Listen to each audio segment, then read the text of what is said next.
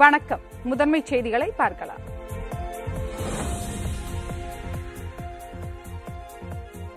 கர்நாடகாவில் காங்கிரஸ் மீண்டும் ஆட்சிக்கு வந்தால் ஊழல் அதிகரித்து வளர்ச்சி பின்னோக்கி சென்றுவிடும் என்று மத்திய உள்துறை அமைச்சர் அமித் ஷா தெரிவித்துள்ளார்.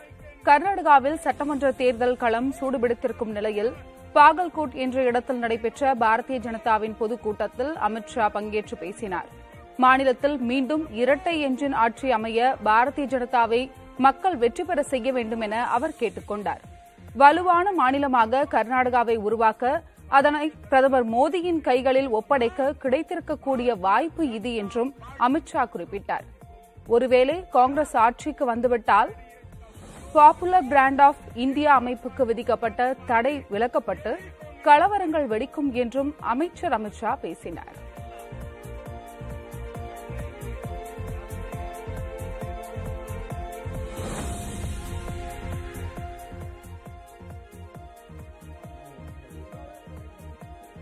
சாகர்மாலா திட்டத்தின் கீழ் கப்பல் போக்குவரத்தை தொடங்கி மத்திய மாநில அரசுகள் மீனவர்களின் வாழ்விடங்களை அழிக்கும் செயலில் ஈடுபட்டு வருவதாக குற்றம் சாட்டி புதுச்சேரி மீன்பிடி துறைமுகம் முன்பு காங்கிரஸ் கட்சியினர் கண்டன ஆர்ப்பாட்டத்தில் ஈடுபட்டனர். முன்னாள் முதல்வர் நாராயணசாமி தலைமையில் நடைபெற்ற ஆர்ப்பாட்டத்தில் புதுச்சேரி மாநில காங்கிரஸ் தலைவர் சுப்பிரமணியன் நாடாளுமன்ற உறுப்பினர் வைத்திலிங்கம் மற்றும் முன்னாள் அமைச்சர்கள் கலந்து கொண்டனர். ஆர்ப்பாட்டத்தில் பேசிய நாராயணசாமி மத்திய அரசு இதுவரை மீன்வளத்துறைக்கு தனி அமைச்சரவையை நியமிக்கவில்லை என்று குற்றம் சாட்டினார்.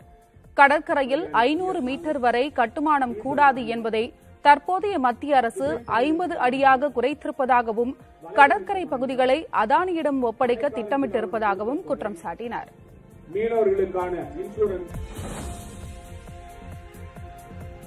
சேலம் மாவட்டம் ஆத்தூர் புதுப்பேட்டை வேளாண் உற்பத்தியாளர்கள் கூட்டுறவு விற்பனை சங்கத்தில் ஒரே நாளில் நூற்று எண்பத்தைந்து லட்சம் ரூபாய்க்கு பருத்தி வர்த்தகம் நடைபெற்றது. பருத்தி வரத்து அதிகமானதால் ஒரு குவிண்டாலுக்கு விலை ஆயிரத்து ஐநூறு ரூபாயாக குறைந்ததால் விவசாயிகள் ஏமாற்றமடைந்தனர். ஆத்தூர் கெங்கவல்லி வீரகனூர் தலைவாசல் தம்மம்பட்டி கள்ளக்குறிச்சி பெரம்பலூர் திட்டக்குடி உள்ளிட்ட பகுதிகளில் இருந்து விவசாயிகள் ஏழாயிரத்து முன்னூறு மூட்டை பருத்தியை விற்பனைக்கு கொண்டு வந்திருந்தனர்.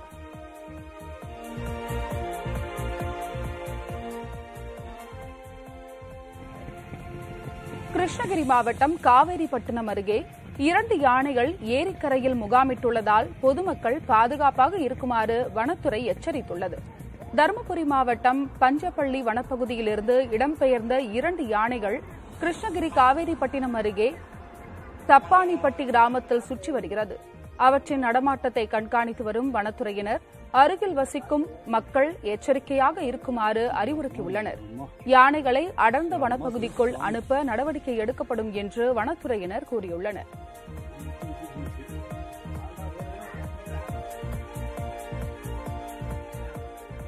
ஈரோடு வந்திருந்த மத்திய அமைச்சர் கிஷன் ரெட்டி நியாய விலைக் கடையில் ஆய்வு மேற்கொண்டு பொதுமக்களுடன் கலந்துரையாடினார். ஈரோட்டில் நடைபெற்ற பாஜக கூட்டத்தில் பங்கேற்க மத்திய சுற்றுலாத்துறை அமைச்சர் கிஷன் ரெட்டி வந்திருந்தார். அப்போது குமலன்குட்டை பகுதியில் உள்ள நியாய விலை கடைக்கு சென்ற அவர் மத்திய அரசால் வழங்கப்பட்டு வரும் அரிசி கோதுமை எண்ணெய் உள்ளிட்டவை மக்களுக்கு வழங்கப்படுகிறதா என ஆய்வு செய்தார். பின்னர் அங்கிருந்த ஊழியர்களிடம் கேட்டறிந்த அமைச்சர் பொதுமக்களுடன் கலந்துரையாடினார்.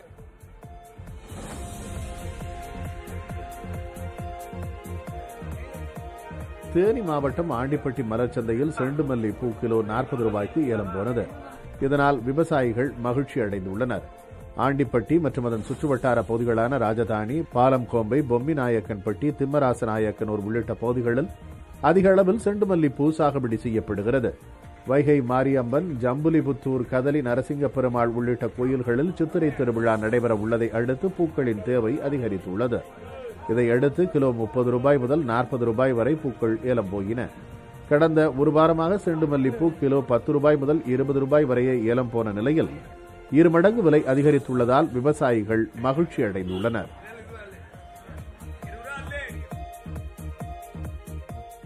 சென்னையில் செட்டிநாடு குடும்பத்திற்கு சொந்தமான இடங்களில் அமலாக்கத்துறையினர் இரண்டாவது நாளாக சோதனையில் ஈடுபட்டு வருகின்றனர். இரண்டாயிரத்தி இருபதாம் ஆண்டு செட்டிநாடு குழுமத்தில் நடந்த வருமான வரி சோதனையில் இருபத்தி மூன்று கோடி ரூபாய் பறிமுதல் செய்யப்பட்டது. மேலும் எழுநூறு கோடி ரூபாய் வரி ஏய்ப்பு செய்ததும் செட்டிநாடு குழுமத்திற்கு சொந்தமாக வெளிநாடுகளில் நூற்று பத்து கோடி ரூபாய்க்கு சொத்துக்கள் இருப்பதும் கண்டறியப்பட்டது. இது தொடர்பாக அமலாக்கத்துறையினர் விசாரணை நடத்தி வருகின்றனர். இந்நிலையில் சென்னை எழும்பூர் மற்றும் அண்ணா சாலையில் உள்ள செட்டிநாடு குழுமத்தின் தலைமை அலுவலகங்களில் அமலாக்கத்துறை அதிகாரிகள் இரண்டாவது நாளாக சோதனை நடத்தி வருகின்றனர்.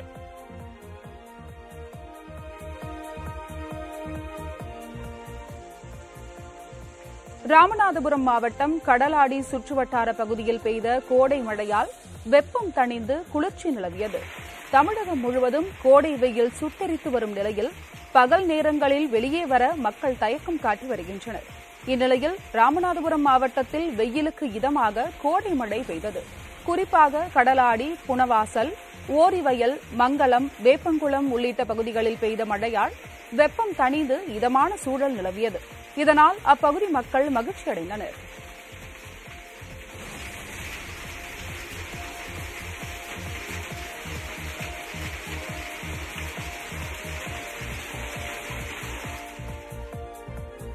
சூடானில் எழுபத்தி இரண்டு மணி நேர சண்டை நிறுத்தத்துக்கு மோதலில் ஈடுபட்டுள்ள இருதரப்பினரும் ஒப்புக்கொண்டிருப்பதாக அமெரிக்க வெளியுறவு அமைச்சர் ஆண்டனி பிளிங்கன் தெரிவித்துள்ளார். இருதரப்பினர் இடையே நடைபெற்ற நாற்பத்தி எட்டு மணி நேர பேச்சுவார்த்தைக்கு பின்னர் இம்முடிவு எட்டப்பட்டுள்ளதாக அவர் கூறியுள்ளார். சண்டை நிறுத்தத்தின் போது தங்கள் நாட்டவர்களை சூடானிலிருந்து பாதுகாப்பாக அழைத்துச் செல்லும் நடவடிக்கைகளை பிற நாடுகள் மேற்கொள்ளும் என எதிர்பார்க்கப்படுகிறது.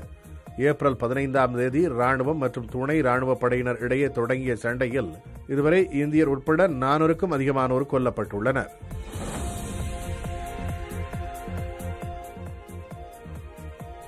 சூடானில் சிக்கியிருக்கும் இந்தியர்களை காப்பாற்ற ஆபரேஷன் காவிரி திட்டம் தொடங்கப்பட்டிருக்கும் நிலையில் அங்கிருந்து முதல் குழுவினர் ஜெட்டாவுக்கு புறப்பட்டுள்ளனர். இந்திய போர்க்கப்பலான ஐஎன்எஸ் சுமேதா மூலம் இருநூற்று எழுபத்தி எட்டு இந்தியர்கள் சூடான் துறைமுகத்தில் இருந்து சவுதி அரேபியாவின் ஜெட்டாவுக்கு அழைத்து செல்லப்பட்டுள்ளனர். அவர்கள் அங்கு சென்றடைந்ததும் இந்திய விமானப்படையின் விமானம் மூலம் தாயகம் அழைத்து வரப்பட்டுள்ளனர். வாழ்க்கையில வேணும் டாஸ்க் எல்லாரும் உங்களுடைய சேஃப்டிக்கு போடுங்க மாஸ்க் ஓகே அனைவரும் கட்டாய முகக்கவசம் அணிய வலியுறுத்தி திரைப்பட நடிகர் டி. ராஜேந்தர் பேசிய வசனம் சமூக வலைதளங்களில் அதிக அளவில் பகிரப்பட்டு வருகிறது. வேலூர் மாவட்ட ஆட்சியர் அலுவலகம் வந்த டி. ராஜேந்தருடன் பொதுமக்கள் போட்டி போட்டுக்கொண்டு நிழற்படம் மற்றும் செல்ஃபி எடுத்துக் கொண்டனர். பின்னர் செய்தியாளர்களிடம் பேசிய அவர் அனைவரும் முகக்கவசம் அணிய வேண்டும் என்பதை வலியுறுத்தும் வகையில் தனக்கே உரிய பாணியில் பஞ்ச் வசனம் பேசியது அனைவரையும் கவர்ந்தது. தவறாம மாஸ்க் போடுங்க ரொம்ப கேர்ஃபுல்லா இருங்க ஜாக்கிரதையா இருங்க. அரசாங்கம் என்ன சொல்லுது சட்டத்தை ஃபாலோ பண்ணுங்க. ஓகே வாழ்க்கை வாழ்க்கையில வேணும் டாஸ்க் எல்லாரும் உங்களுடைய சேஃப்டிக்கு போடுங்க மாஸ்க் வாழ்க்கையில வேணும் டாஸ்க் எல்லாரும் உங்களுடைய சேஃப்டிக்கு போடுங்க மாஸ்க் ஓகே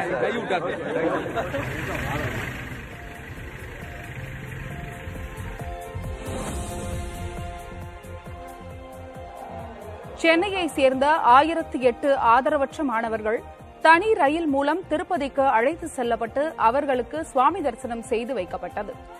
தனியார் அறக்கட்டளை சார்பில் சென்னையில் இருந்து ரயில் மூலம் அழைத்து செல்லப்பட்ட மாணவர்கள் ரேணிகுண்டாவில் இறங்கியதும் முப்பத்தி இரண்டு பேருந்துகள் மூலம் திருமலை திருப்பதிக்கு பயணித்தனர். பின்னர் முன்னூறு ரூபாய் தரிசன டிக்கெட் மூலம் அவர்கள் அனைவரும் ஏழுமலையானை தரிசித்தனர். முதல் முறையாக ஏழுமலையானை தரிசித்த ஆதரவற்ற மாணவர்கள் மகிழ்ச்சியில் பூரித்தனர்.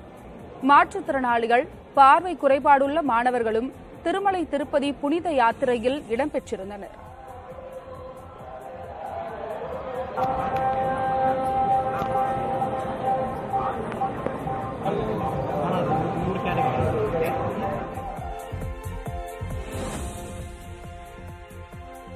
பாலியல் துன்புறுத்தல் விவகாரத்தில் இந்திய மல்யுத்த சம்மேளனத்தின் தலைவர் மீது வழக்கு பதிவு செய்ய கோரி மல்யுத்த வீராங்கனைகள் தொடர்ந்த மனு மீது பதிலளிக்க டெல்லி அரசுக்கு உச்சநீதிமன்றம் உத்தரவிட்டுள்ளது. இந்திய மல்யுத்த சம்மேளனத்தின் தலைவராக இருந்த பாஜகவை சேர்ந்த பிரிஷ் பூஷன் என்பவர் வீராங்கனைகளிடம் பாலியல் ரீதியாக அத்துமீறியதாக குற்றச்சாட்டு எழுந்தது. இந்த விவகாரத்தில் நடவடிக்கை எடுக்க கோரி மூத்த மல்யுத்த வீரர் வீராங்கனைகள் போராட்டங்களை முன்னெடுத்துள்ளனர். இதனிடையே பிரிஜ் பூஷன் மீது உடனடியாக வழக்கு பதிவு செய்ய கோரி பாதிக்கப்பட்டவர்கள் உச்சநீதிமன்றத்தில் மனு தாக்கல் செய்திருந்தனர். இந்த விஷயத்தில் உடனடியாக நடவடிக்கை எடுக்க வலியுறுத்தி மூத்த வழக்கறிஞர் கபில் சிபில் சார்பில் தலைமை நீதிபதி சந்திரசூட் அமர்வில் முறையிடப்பட்டது. இதனை பரிசீலித்த தலைமை நீதிபதி குற்றச்சாட்டுகள் முக்கியமானதாக இருப்பதாக குறிப்பிட்டதுடன் இதுகுறித்து டெல்லி அரசு பதிலளிக்கவும் உத்தரவிட்டார். வழக்கு மீது வரும் இருபத்தி எட்டாம் தேதி விசாரணை நடைபெறுகிறது.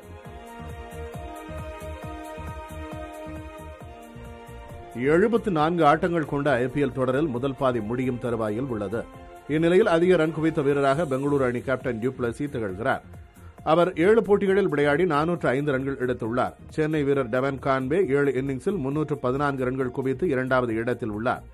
டெல்லி அணி கேப்டன் டேவிட் வார்னர் ஏழு போட்டிகளில் முன்னூற்று ஆறு ரன்களுடன் மூன்றாவது இடத்தில் இருக்கிறார். பந்துவீச்சை பொறுத்தவரை பெங்களூரு வீரர் முகமது சிராஜும் பஞ்சாப் வீரர் அர்ஷ்தீப் சிங்கும் அதிகபட்சமாக தலா பதிமூன்று விக்கெட்டுகளை எடுத்துள்ளனர். எனினும் ஒரு விக்கெட்டுக்கு சராசரியாக விட்டுத்தந்த ரன்கள் என்ற அடிப்படையில் சிராஜ் நூலிழையில் முந்தி முதலிடம் பிடித்துள்ளார். ராஜஸ்தான் வீரர் இஸ்வேந்திர சஹல் குஜராத் வீரர் ரஷீத் கான் சிஎஸ்கே வீரர் துஷார் தேஷ்பாண்டே தலா பன்னிரண்டு விக்கெட்டுகளை வீழ்த்தியுள்ளனர். எனினும் சராசரி ரன் விட்டுக் கொடுத்ததன் அடிப்படையில் சஹலுக்கு மூன்றாம் இடம் வழங்கப்பட்டுள்ளது.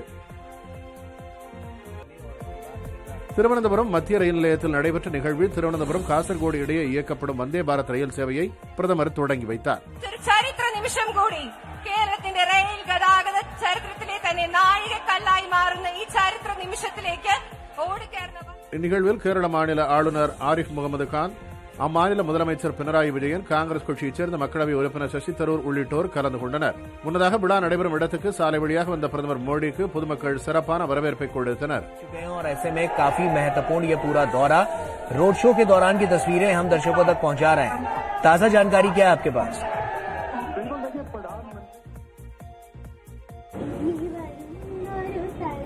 திருவனந்தபுரத்தில் வந்தே பாரத் ரயில் சேவையை தொடங்கி வைத்த பிரதமர் நரேந்திர மோடி அந்த ரயிலில் பயணம் செய்தார். மேலும் ரயிலில் பயணம் செய்த மாணவ மாணவியரிடம் மகிழ்ச்சி பொங்க உரையாற்றினார். மாணவர்களை தட்டிக் கொடுத்து அறிவுரைகளையும் பிரதமர் வழங்கினார். அப்போது வந்தே பாரத் ரயில் ஓவியத்தை வரைந்து அதனை பிரதமருக்கு மாணாக்கர் பரிசாக அளித்தனர்.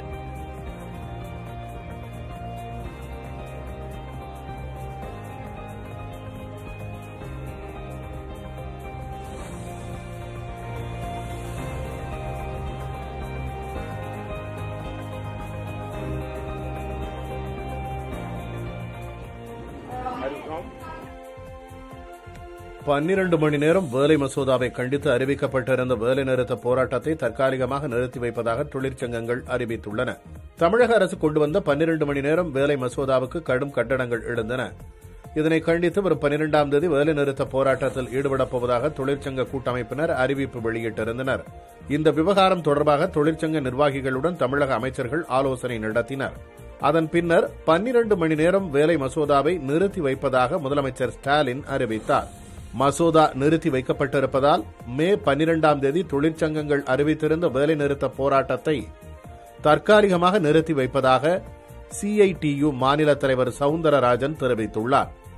அனைத்து தொழிற்சங்க கூட்டமைப்பினருடன் அடுத்த கட்ட நடவடிக்கை தொடர்பாக ஆலோசனை நடத்தி முடிவு செய்யப்படும் என்றும் அவர் குறிப்பிட்டுள்ளார். தொழிற்சாலைகளில் பன்னிரண்டு மணி நேர வேலை என்கிற சட்டம் முன்வடிவு மீதான மேல் நடவடிக்கை நிறுத்தி வைக்கப்பட்டுள்ளது என்ற முதலமைச்சர் ஸ்டாலினின் அறிவிப்பை மக்கள் நீதி மய்யம் கட்சித் தலைவர் கமல்ஹாசன் வரவேற்றுள்ளார். இதுகுறித்து தனது டுவிட்டர் பக்கத்தில் பதிவிட்டுள்ள அவர் யார் சொல்கிறார்கள் என்பதை விட என்ன சொல்கிறார்கள் என்பதற்கு முக்கியத்துவம் கொடுத்து மாற்று தரப்பின் நியாயமான கருத்துகளுக்கும் மக்களின் உணர்வுகளுக்கும் மதிப்பளித்து செயல்படுவது ஒரு ஆரோக்கியமான அரசின் அடையாளங்கள் என்றும் அதற்காக முதலமைச்சர் ஸ்டாலினை பாராட்டுவதாகவும் குறிப்பிட்டுள்ளார். மதுரை சித்திரை திருவிழாவின் முக்கிய நிகழ்வான வைகை ஆற்றில் கள்ளழகர் இறங்கும் நாளான மே ஐந்தாம் தேதி அம்மாவட்டத்துக்கு உள்ளூர் விடுமுறை அறிவிக்கப்பட்டுள்ளது. மதுரை மாவட்டம் அழகர்கோவில் மலை அடிவாரத்தில் அமைந்துள்ள கள்ளழகர் எனப்படும் சுந்தரராஜ பெருமாள் கோயில் சித்திரை திருவிழா வரும் முப்பதாம் தேதி தொடங்குகிறது. விழாவின் முக்கிய நிகழ்வுகளாக நான்காம் தேதி மதுரை மூன்று மாவடி பகுதியில் கள்ளழகர் எதிர் சேவையும் அதன் தொடர்ச்சியாக ஐந்தாம் தேதி அதிகாலை வரை தல்லாகுளம் உள்ளிட்ட பல்வேறு பகுதிகளில் எதிர் சேவையும் நடைபெறுகின்றன. இதனைத் தொடர்ந்து ஐந்தாம் தேதி காலை ஐந்து நாற்பத்து ஐந்து மணி முதல் ஆறு பன்னிரண்டு மணிக்குள்ளாக வைகை ஆற்றில் கள்ளழகர் இறங்கும் நிகழ்வானது நடைபெறவுள்ளது. இதையொட்டி வைகை ஆற்றில் கள்ளழகர் இறங்கும் ஆழ்வார்புரம் பகுதியில் மாவட்ட ஆட்சியர் அனீஷ் சேகர் மாநகராட்சி ஆணையர் சிம்ரன்ஜித் சிங் மற்றும் மாநகர காவல் ஆணையர் நரேந்திரன் நாயர் உள்ளிட்டோர் நேரில் ஆய்வு மேற்கொண்டனர். வைகை ஆற்றில் கள்ளழகர் இறங்கும் விழாவை ஒட்டி மே ஐந்தாம் நாள் மதுரை மாவட்டத்துக்கு உள்ளூர் விடுமுறை அறிவிக்கப்பட்டுள்ளது. திண்டுக்கல் மாவட்டம் பழனி அருகே சித்திரை திருவிழாவை முன்னிட்டு முன்னூறு ஆட்டுக்கிடாய்களை வெட்டி கிராம மக்கள் சுவாமி தரிசனம் செய்தனர். கணக்கன்பட்டி ஊராட்சியில் உள்ள கோம்பைப்பட்டி கிராமத்தில் மிகவும் பழமை வாய்ந்த பெரியதுரை கருப்பண்ண சுவாமி கோவில் உள்ளது. இக்கோயிலில் சித்திரை திருவிழாவை முன்னிட்டு கிராம மக்கள் கிடாய் வெட்டி சாமி தரிசனம் செய்வது வழக்கம். அந்த வகையில் இந்த ஆண்டு முன்னூறு ஆட்டுக்கிடாய்கள் வெட்டி வழிபாடு நடத்தப்பட்டது. சென்னை கோயம்பேடு சந்தையில் ரசாயன கற்களை கொண்டு பழுக்க வைக்கப்பட்ட ஐந்து டன் மாம்பழங்கள் பறிமுதல் செய்யப்பட்டன. தமிழகத்தில் மாம்பழ சீசன் தொடங்கியுள்ள நிலையில் அதன் விற்பனை அதிகரித்து வருகிறது. சென்னை கோயம்பேடு சந்தையில் கார்பைடு ரசாயன கற்களை கொண்டு பழுக்க வைக்கப்பட்ட மாம்பழங்கள் விற்கப்படுவதாக உணவு பாதுகாப்புத்துறை அதிகாரிகளுக்கு தகவல் கிடைத்தது. அதன் பேரில் கோயம்பேடு பழச்சந்தையில் அதிகாரிகள் திடீர் ஆய்வு மேற்கொண்டனர். அப்போது கார்பைடு ரசாயன கல் வைத்து பழுக்க வைக்கப்பட்ட ஐந்து டன் மாம்பழங்களை பறிமுதல் செய்தனர். தவறு செய்த கடைக்காரர்களுக்கு அபராதமும் விதிக்கப்பட்டது.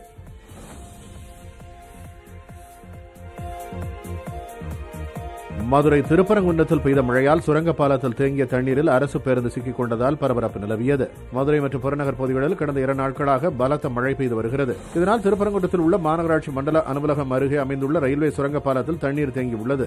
இந்நிலையில் தேங்கிய மழைநீரில் அரசு பேருந்து சிக்கிக் கொண்டதில் அதிலிருந்த பயணிகளும் மாணவ மாணவிகளும் அதிர்ச்சி அடைந்தனர்.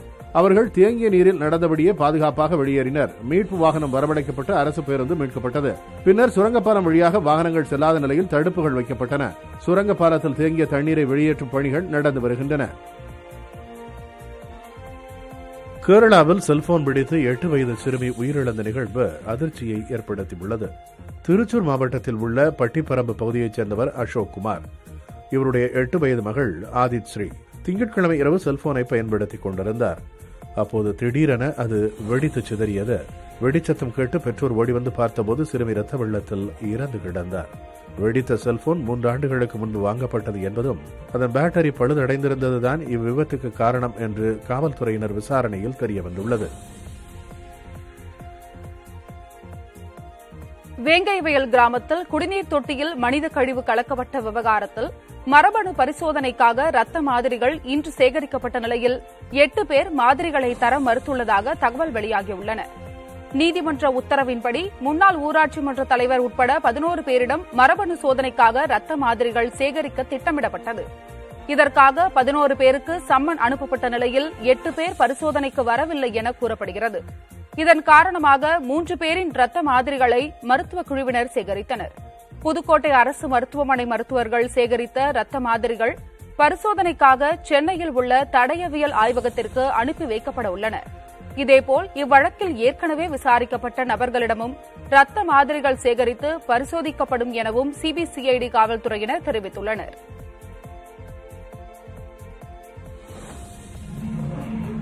தேனி மாவட்டம் ஆண்டிப்பட்டியில் உள்ள பழமை வாய்ந்த வீர ஆஞ்சநேயர் கோவிலில் அறுபதாம் ஆண்டு சித்திரை திருவிழா விமரிசையாக நடைபெற்றது.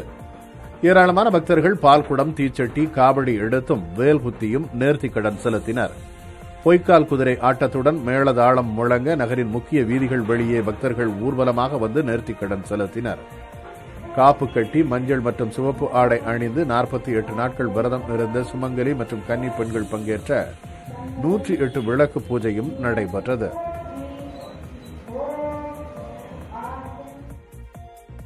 சென்னை அண்ணா நகர சட்டமன்ற உறுப்பினர் மோகன் வீட்டில் வருமான வரித்துறை அதிகாரிகள் இரண்டாவது நாளாக சோதனை நடத்தி வருகின்றனர்.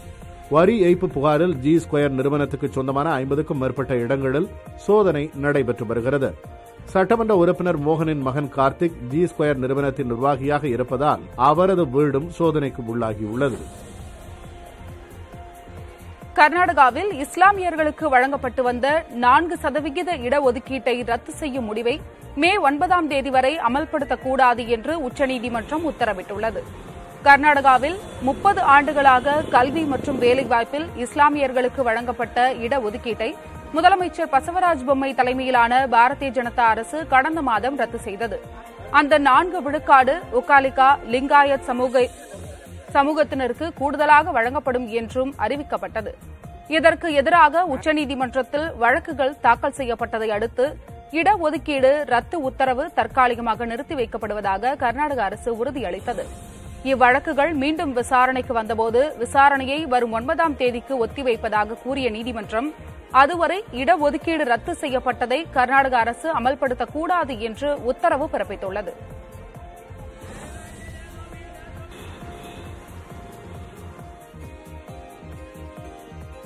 தன் நிறுவனத்தில் பணிபுரியும் ஊழியர்களை மரியாதையுடன் நடத்துபவர் என அறியப்படும் முகேஷ் அம்பானி அவருடைய வலதுகை என கருதப்படும் ரிலையன்ஸ் நிறுவன ஊழியர் மனோஜ் மோடி என்பவருக்கு மும்பையில் நேப்பியன் ஷீரோடு பகுதியில் ஆயிரத்து ஐநூறு கோடி ரூபாய் மதிப்பிலான வீடு ஒன்றை பரிசாக வழங்கியுள்ளார். இருபத்தி இரண்டு மாடிகள் கொண்ட இந்த வீடானது ஒரு லட்சத்து ஏழாயிரம் சதுர அடியில் அமைந்துள்ளது. மனோஜ் மோடியும் முகேஷ் அம்பானியும் மும்பை பல்கலைக்கழகத்தில் ஒன்றாக கெமிக்கல் டெக்னாலஜி பயின்றவர்கள். கடந்த ஆயிரத்து தொள்ளாயிரத்து எண்பதாம் ஆண்டு ரிலையன்ஸ் நிறுவனத்தில் பணிக்கு சேர்ந்த மனோஜ் மோடி முகேஷ் அம்பானியின் குடும்பத்துடன் நெருங்கிய நட்புடன் இருந்து வருவதாக தகவல்கள் தெரிவிக்கின்றன. தற்போது அவர் ரிலையன்ஸ் ரீட்டைல் மற்றும் ரிலையன்ஸ் ஜியோ நிறுவனங்களின் இயக்குநராக உள்ளார். ரிலையன்ஸ் நிறுவனம் மேற்கொள்ளும் கோடிக்கணக்கான ரூபாய்கள் மதிப்பிலான ஒப்பந்தங்களை இறுதி செய்வதில் மனோஜ் மோடி மிக முக்கிய பங்காற்றி வருவதாக கூறப்படுகிறது.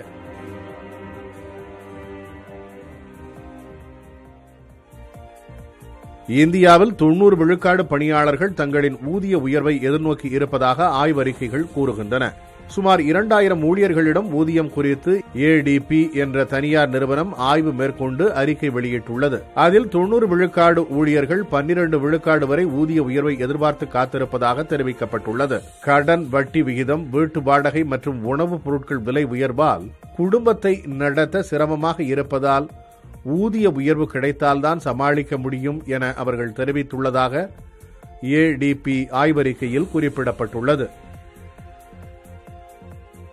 ஜூன் ஏழாம் தேதி லண்டன் ஓபல் மைதானத்தில் நடைபெறும் ஆஸ்திரேலியாவுக்கு எதிரான டெஸ்ட் சாம்பியன்ஷிப் இறுதிப் போட்டியில் விளையாடும் இந்திய அணி அறிவிக்கப்பட்டுள்ளது. நீண்ட நாட்களுக்கு பின் அஜிங்கிய ரஹானே இந்திய அணியில் இடம் பிடித்துள்ளார். கே எல் ராகுலும் மீண்டும் அணியில் சேர்க்கப்பட்டுள்ளார். ரோஹித் சர்மா தலைமையிலான இந்திய அணியில் சுப்மன் கில் சித்தேஸ்வர் புஜாரா விராட் கோலி அஜிங்கிய ரஹானே கே எல் ராகுல் கே எஸ் பரத் ரவிச்சந்திரன் அஸ்வின் ரவீந்திர ஜடேஜா அக்ஷர் பட்டேல் ஷர்துல் தாக்கூர் முகமது சமி முகமது சிராஜ் உமேஷ் யாதவ் மற்றும் ஜெயதேவ் உனத்கட் ஆகியோர் இடம்பெற்றுள்ளனர்.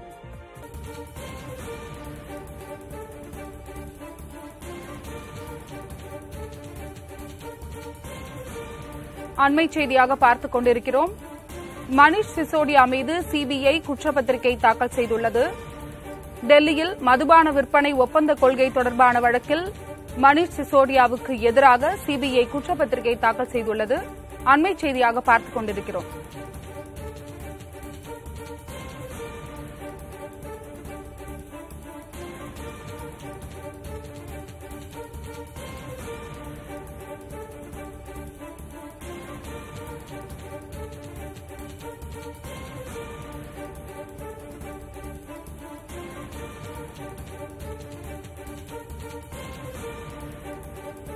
அண்மை செய்தியாக பார்த்துக் கொண்டிருக்கிறோம்.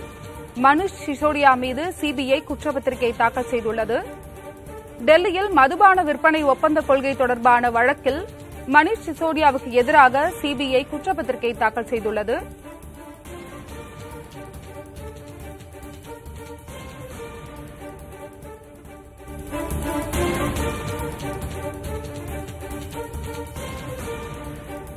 மேலும் ஒரு அண்மை செய்தியை பார்த்துக் கொண்டிருக்கிறோம். குட்கா பொருட்களுக்கு தடை விதிக்கலாம் என்று உயர்நீதிமன்றம் வழங்கிய உத்தரவுக்கு உச்சநீதிமன்றம் இடைக்கால தடை விதித்துள்ளது.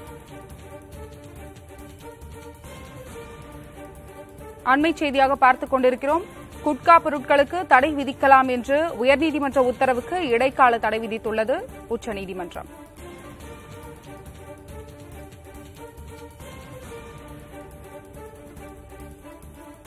அண்மை செய்தியாக பார்த்துக் கொண்டிருக்கிறோம். குட்கா வழக்கில் சென்னை உயர்நீதிமன்றம் வழங்கிய உத்தரவுக்கு உச்சநீதிமன்றம் இடைக்கால தடை விதித்துள்ளது. இதுகுறித்து பேசுவதற்காக நம்முடன் நிரஞ்சன் இணைந்திருக்கிறார். நிரஞ்சன் விவரம் என்ன? சென்னை உயர் நீதிமன்றத்துல முக்கியமான ஒரு உத்தரவு வந்திருந்தது. கடந்த இரண்டாயிரமாவது ஆண்டிலிருந்தே தமிழ்நாட்டுல குட்கா உள்ளிட்ட புகை பொருட்கள் விற்பனை செய்யறதுக்கும் உற்பத்தி செய்யறதுக்கும் தடையானது இருக்கு. ஆனா இது எப்படி தடை இருக்கிறாங்க அப்படின்னா உணவு கட்டுப்பாடு ஆணையம் ஒவ்வொரு வருஷமும் ரினியூவல் செய்யப்படும் இந்த ஆணை. இதுக்கு எதிராக இந்த குட்கா தயாரிப்பு நிறுவனங்கள் சென்னை உயர்நீதிமன்றத்தில் மனு தாக்கல் செஞ்சிருந்தாங்க. அதை விசாரிச்ச சென்னை உயர்நீதிமன்றம் உணவு கட்டுப்பாட்டு கழகம் வந்து இந்த மாதிரியான தடை உத்தரவு எதையும் போட முடியாது. ஒருவர் முழுமையான தடை அப்படின்றத போடவே முடியாது என்ற ஒரு தீர்ப்பை கொடுத்திருந்தாங்க. அதன் மூலியமா இந்த குட்கா பொருட்கள் மீண்டும் தமிழ்நாட்டுல விற்பனை செய்யப்படுவதற்கான சூழல் உருவாகி இருந்தது. இதுக்கு எதிராக தமிழ்நாடு அரசு உச்சநீதிமன்றத்தில் மேல்முறையீடு செஞ்சிருந்த நிலையில உச்சநீதிமன்ற நீதிபதி கே ஜோசப் தலைமையிலான அமர்வு முன்னாடி விசாரிக்கப்பட்டு வந்துச்சு இந்த வழக்கு. தமிழ்நாடு அரசு சார்பா மூத்த வழக்கறிஞர் ஆஜராகி இது பொது சுகாதாரம் சார்ந்த விஷயம். இந்த விவகாரத்துல ஒரு தனி நபர்களுடைய அல்லது ஒரு கார்பரேட்டுகளுடைய லாபத்தை நாங்க கணக்குல பார்க்க முடியாது. அதை விட எங்களுக்கு மக்களுடைய சுகாதாரம் ரொம்ப முக்கியம் அப்படின்ற சில முக்கியமான விஷயத்த சொல்லியிருந்தாங்க. அது மட்டும் இல்லாம குட்கா உள்ளிட்ட பொருட்கள் கேன்சர் போன்ற கடுமையான நோயை ஏற்படுத்தக்கூடியதா இருக்கு. அதனால இதுக்கு செலவு பண்ணக்கூடிய ச- வருமானத்தை நம்ம கணக்கில் கொண்டா இந்த சிகரெட் மூலியமா கிடைக்கக்கூடிய அல்லது குட்கா மூலியமா கிடைக்கக்கூடிய வருமானம் அப்படின்றது அரசுக்கு ரொம்ப குறைதான் அதனால மக்களுடைய சுகாதாரத்தை கவனத்துல கொண்டுதான் நாங்க இந்த கடை உத்தரவை பிறப்பிச்சோம்னு சொன்னாங்க.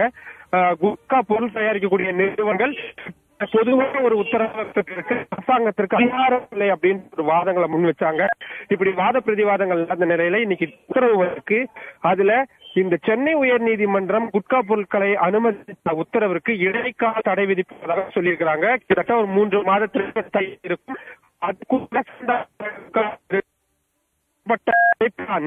நாடி தேவையான உத்தரவுகளை வாங்கி உங்களுடைய தகவலுக்கு நன்றி நிரஞ்சன்.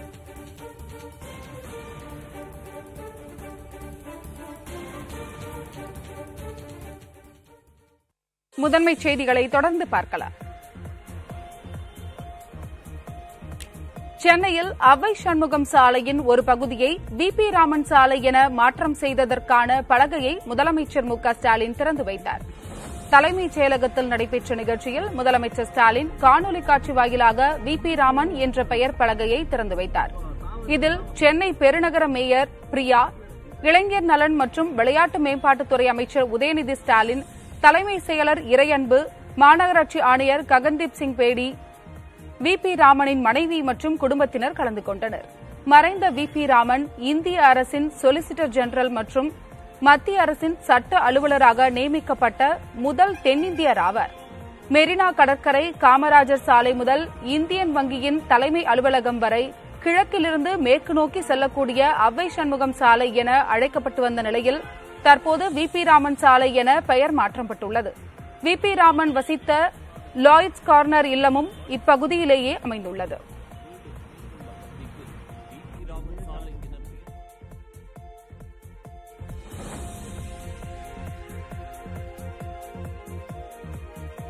திமுக அரசின் நிதானமற்ற கொள்கை முடிவுகளால் மக்கள் அவதிக்குள்ளாவது வேதனை அளிக்கிறது என எதிர்க்கட்சித் தலைவர் எடப்பாடி பழனிசாமி தெரிவித்துள்ளார்.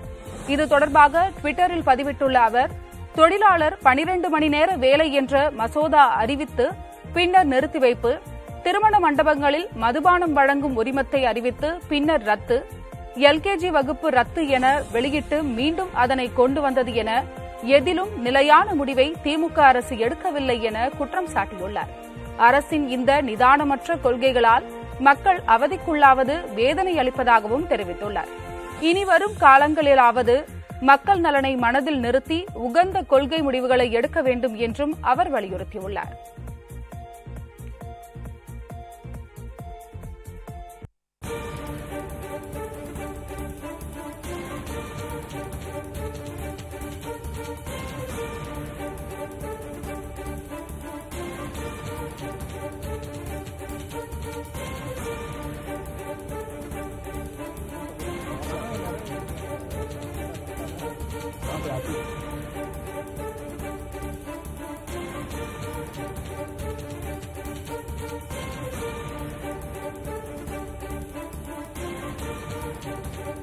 அண்மை செய்தியாக பார்த்துக் கொண்டிருக்கிறோம். அனுமதி பெறாமல் படப்பிடிப்பு நடந்ததாக தனுஷ் படத்தை தற்போது தற்காலிகமாக நிறுத்தி வைக்கப்பட்டுள்ளன பட்டுள்ளது. தனுஷ் படத்தின் படப்பிடிப்பை நிறுத்த உத்தரவு வந்துள்ளது. தென்காசி மாவட்டம் மத்தளம்பாறையில் நடைபெற்ற தனுஷ் நடிக்கும் கேப்டன் மில்லர் படப்பிடிப்பை நிறுத்த உத்தரவு வந்துள்ளது. அனுமதி பெறாமல் படப்பிடிப்பு நடந்ததாக கூறி ஆட்சியர் இந்த உத்தரவை பிறப்பித்துள்ளார்.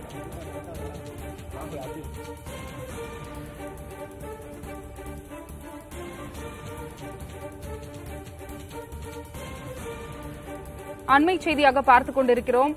மாவட்ட நிர்வாகத்தின் அனுமதி இல்லாமல் படப்பிடிப்பு நடந்ததாக தனுஷ் படத்தை தற்காலிகமாக படப்பிடிப்பு நடந்ததை நிறுத்தி வைத்துள்ளனர்.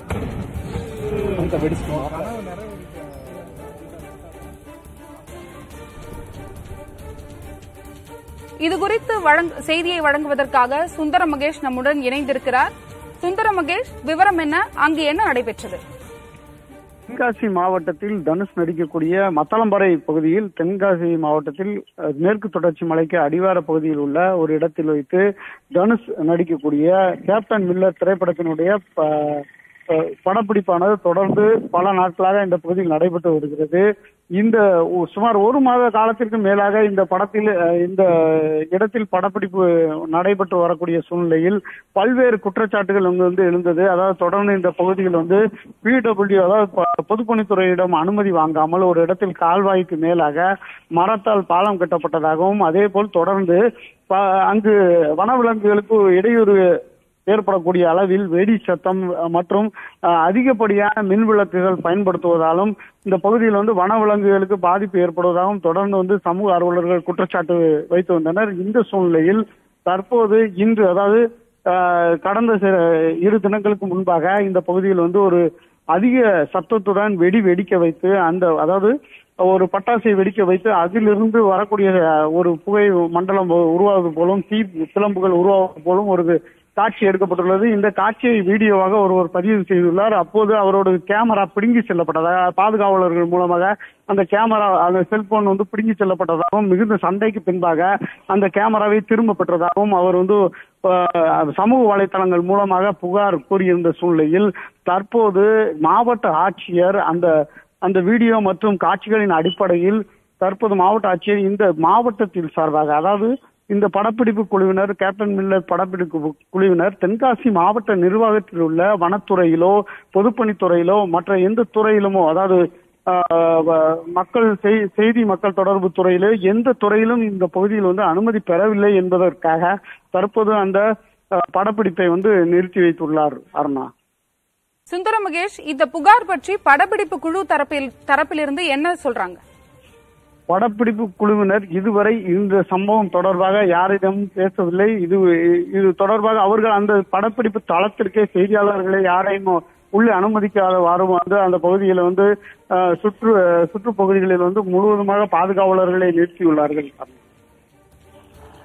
உங்களுடைய தகவலுக்கு நன்றி.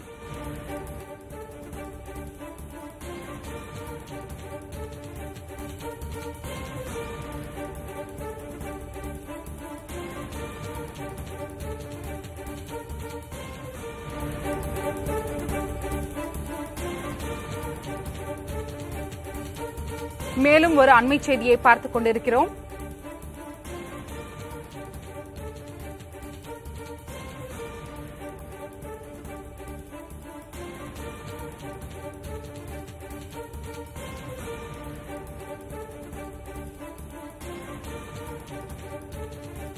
அண்மை செய்தியை பார்த்துக் கொண்டிருக்கிறோம். தூத்துக்குடி மாவட்டம் முரப்பநாடு கோவில்பத்து விஏஓ லூர்து பிரான்சிஸ் இறந்துள்ளார். அது குறித்த அண்மை செய்தியை பார்த்துக் கொண்டிருக்கிறோம். கொலை செய்யப்பட்ட விஏஓ குடும்பத்திற்கு ஒரு கோடி ரூபாய் நிவாரணம் வழங்கப்படுகிறது. நிவாரண உதவித் தொகையை அறிவித்தார் முதல்வர் மு ஸ்டாலின்.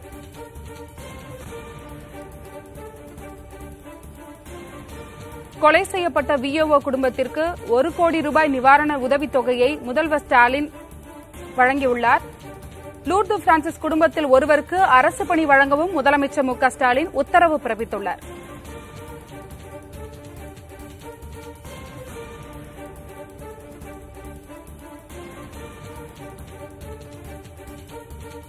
இது குறித்த கூடுதல் விவரங்களை வழங்குவதற்காக செய்தியாளர் ரமேஷ் இணைந்திருக்கிறார். ரமேஷ் விவரம் என்ன? தூத்துக்குடி மாவட்டம் ஸ்ரீவைகுண்டம் வட்டம் முரப்பநாடு கோவில்பந்து கிராம நிர்வாக அலுவலராக பணிபுரியும் லூர்து பிரான்சிஸ். வயது ஐம்பத்தி மூன்று இன்றைக்கு அவர் வந்து அலுவலகத்தில் பணியில் இருந்தபோது இரண்டு நபர்கள் அறிவாளால் வெட்டியுள்ளனர். தலை மற்றும் கைகளில் பலத்த காயமுற்ற அவர் அவசர சிகிச்சைக்காக நெல்லை அரசு மருத்துவக் கல்லூரி மருத்துவமனையில் அனுமதிக்கப்பட்ட நிலையில் சிகிச்சை பலனின்றி உயிரிழந்திருக்கிறார். இரு நபர்கள் இவரை தாக்கிய ராமசுப்பு என்பவர் உடனடியாக கைது செய்யப்பட்டுள்ளார். முதற்கட்ட விசாரணையின்படி ராமசுப்புவின் மீது திரு லூர்து பிரான்சிஸ் கிராம நிர்வாக அலுவலர் அளித்த புகாரின் பேரில் கடந்த வாரம் மணல் கடத்தல் வழக்கு பதிவு செய்யப்பட்டதால் ஆத்திரமடைந்த ராமசுப்பு மற்றொரு நபரை அழைத்துக் கொண்டு அவரை வெட்டியதாக தெரிய வருகிறது. இதுகுறித்து காவல்துறை மூலம் உரிய விசாரணை மேற்கொள்ளப்பட்டு வருவதாகவும் இந்த பணியில் இருக்கும் போது வெட்டி கொல்லப்பட்ட சம்பவம் நமக்கெல்லாம் மிகுந்த துயரத்தினை அளித்துள்ளது என்று முதலமைச்சர் தெரிவித்திருக்காங்க. தம் கடமையை முறையாக நிறைவேற்றி அதன் காரணமாக உயிரிழந்த பிஓஓ பொறுப்புணர்வையும் கடமை உணர்ச்சியும் தமிழ்நாடு அரசு போட்டிருக்கிறதாகவும் இந்த கொடிய சம்பவத்தில் உயிரிழந்த அவரின் குடும்பத்திற்கு ஆழ்ந்த இரங்கலை முதலமைச்சர் தெரிவிச்சிருக்காங்க. அது மட்டும் இல்லாம லூர்து பிரான்சிஸ் அவர்களின் குடும்பத்தினருக்கு அரசு சார்பாக உடனடியாக முதலமைச்சரின் பொது நிவாரண நிதியிலிருந்து ஒரு கோடி ரூபாய் நிதி உதவியும் அவரது குடும்பத்தில் ஒருவருக்கு அரசு பணி வழங்கிடவும் உத்தரவிட்டுள்ளதாக முதலமைச்சருடைய செய்திக்குறிப்பில் தெரிவிக்கப்பட்டிருக்கிறது. உங்களுடைய தகவலுக்கு நன்றி ரமேஷ்.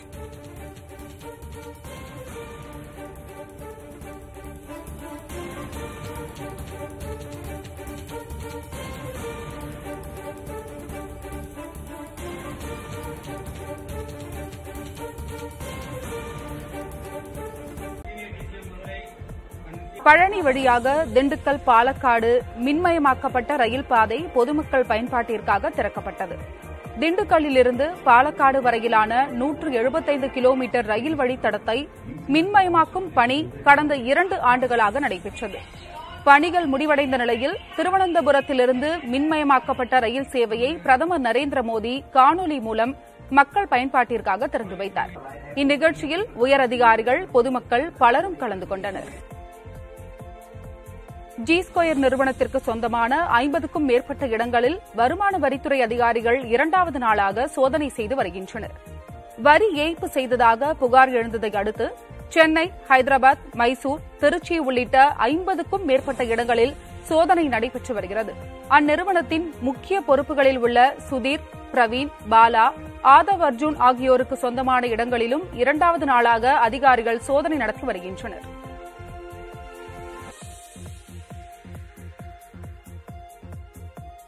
லாட்டரி வியாபாரி மீது பொய்யான வழக்கு பதிவு செய்த விவகாரத்தில் காவல் ஆய்வாளர் மீது விசாரணை நடத்த தென்மண்டல காவல்துறை தலைவர் அஸ்ரா கார்கிற்கு உயர்நீதிமன்ற மதுரை அமர்வு உத்தரவிட்டுள்ளது. மதுரையைச் சேர்ந்த லாட்டரி வியாபாரியான கிருஷ்ணகுமார் என்பவர் தன் மீது காவல்துறையினர் பொய்யான வழக்கு பதிவு செய்ததாகவும் இதில் தனக்கு பிணை வழங்க வேண்டும் எனவும் உயர்நீதிமன்ற மதுரை அமர்வில் வழக்கு தொடர்ந்திருந்தார். இதனை விசாரித்த நீதிபதி இளந்திரையன் இந்த வழக்கில் காவல் ஆய்வாளர் பூமிநாதன் சட்டவிரோதமாக செயல்பட்டதாக குறிப்பிட்டதுடன் அவர் மீது விசாரணை நடத்த தென்மண்டல காவல்துறை தலைவர் அஸ்ரா கார்கிற்கு உத்தரவிட்டார். அத்துடன் லாட்டரி வியாபாரி மீது காவல் ஆய்வாளர் பூமிநாதன் பொய்யான வழக்கு பதிவு செய்திருந்தால் அவர் மீது துறை ரீதியான நடவடிக்கை எடுக்கவும் நீதிபதி அறிவுறுத்தினார்.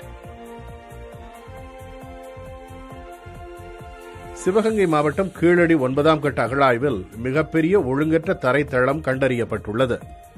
கீழடியில் ஒன்பதாம் கட்ட அகழாய்வை முதலமைச்சர் ஸ்டாலின் கடந்த ஆறாம் தேதி தொடக்கி வைத்தார். தொல்லியல் துறை இணை இயக்குநர் ரமேஷ் தலைமையில் தொல்லியல் ஆய்வாளர்கள் அகழாய்வு பணிகளில் ஈடுபட்டு வருகின்றனர். முதல் கட்டமாக இருபத்தி இரண்டு சென்ட் நிலத்தில் இரு குழிகள் தோண்டப்பட்டன. அதில் வெளிர் பச்சை நிற பாசிகள் கண்ணாடி மணி வட்டச்சில்லு உள்ளிட்டவைகள் கண்டெடுக்கப்பட்டன. தொடர்ந்து ஒன்றரை அடி ஆழத்தில் ஒழுங்கற்ற வழுவழுப்பான தரைத்தளம் தென்பட்டது. இதை அடுத்து அதன் அருகிலேயே கூடுதலாக இரு குழிகள் தோண்டப்பட்டதில் மிகப்பெரிய தரைத்தளம் வெளிப்பட்டது. நெய்வேலி என்எல்சி நிறுவனத்திற்கு நிலம் கொடுத்தவர்கள் நிரந்தர பணித்தன்மை கொண்ட ஒப்பந்த வேலை கேட்டு போராட்டத்தில் ஈடுபட்டனர். என்எல்சி சுரங்க விரிவாக்க பணிகளுக்கு வீடு நிலம் கொடுத்தவர்கள் பதினான்கு ஆண்டுகளாக தற்காலிக ஒப்பந்த தொழிலாளர்களாக பணியாற்றி வருகின்றனர். எனவே நிரந்தர பணித்தன்மை கொண்ட ஒப்பந்த தொழிலாளர்களாக பணி வழங்க கோரி எழுபத்தைந்துக்கும் மேற்பட்டவர்கள் மந்தாரக்குப்பத்தில் உள்ள இரண்டாவது சுரங்க வாயில் முன் போராட்டத்தில் ஈடுபட்டனர். நிகழ்விடத்திற்கு வந்த என்எல்சி நிறுவன அதிகாரிகள் பேச்சுவார்த்தை நடத்தி உரிய நடவடிக்கை எடுக்கப்படும் என தெரிவித்தனர்.